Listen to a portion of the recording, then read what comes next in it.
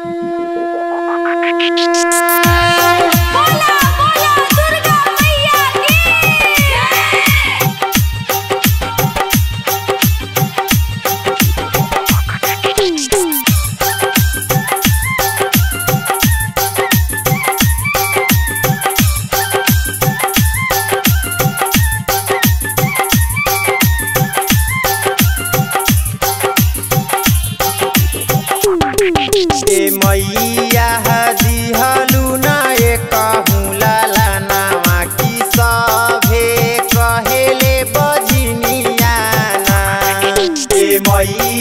है जी हालू ना एका